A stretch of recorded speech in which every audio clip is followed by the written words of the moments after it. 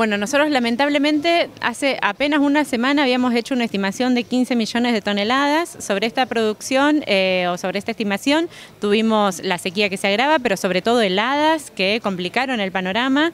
Hoy por hoy ya parece un número objetivo, digamos un número hacia donde estamos confluyendo con las estimaciones, 13,7 millones de toneladas, una producción muy baja para lo que fueron los últimos años en Argentina, 10 millones de toneladas menos que el año pasado. Y bueno, con este ajuste en la producción, por supuesto, empezamos a ver cómo se va a ajustar la demanda, cómo es plausible que se ajuste.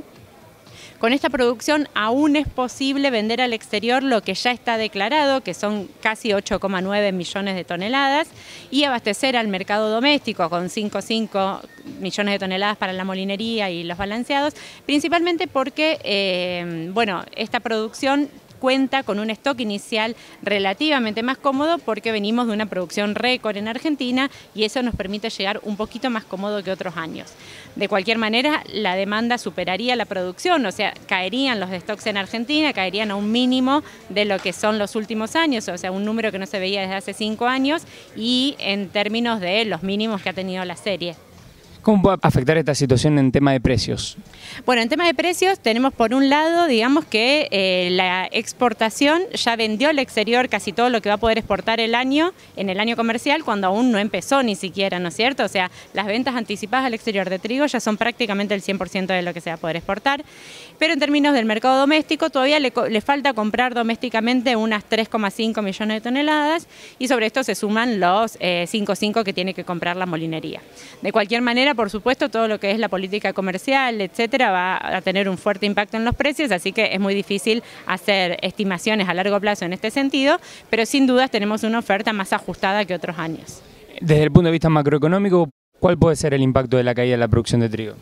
Bueno, lo que tiene el trigo es que nuestra principal cultivo a contraestación, digamos, Argentina lo que más produce es eh, soja y maíz y eso nos permite en el segundo trimestre de cada año tener un buen ingreso de dólares por la campaña gruesa.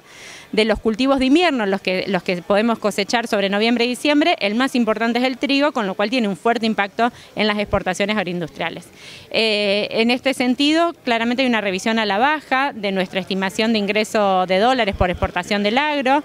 Entre octubre y marzo estamos estimando que ingresarían 3,5, eh, o sea, 3.500 millones de dólares menos que el mismo periodo del año anterior, principalmente por la baja de trigo y también, bueno, algunos ajustes de otros cultivos, principalmente la soja que se adelantó la exportación al mes de septiembre junto con el dólar soja y eso nos hace reestimar el número. Trigo, sequía, ¿cuánto puede recortarse la producción?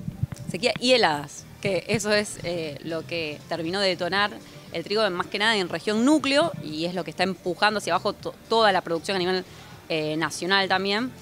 Eh, estuvimos reviendo los, números y tenemos más hectáreas perdidas, casi llegarían a las 400.000 hectáreas perdidas en lo que es región núcleo.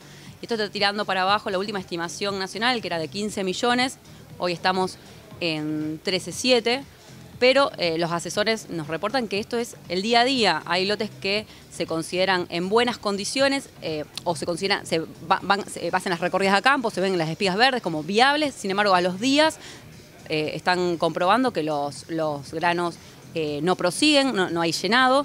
Entonces esos son los, lotes que están determinando o empujando a la baja lo que es la producción eh, particularmente, como te digo, de zona núcleo, pero que eh, impacta también eh, a nivel nacional.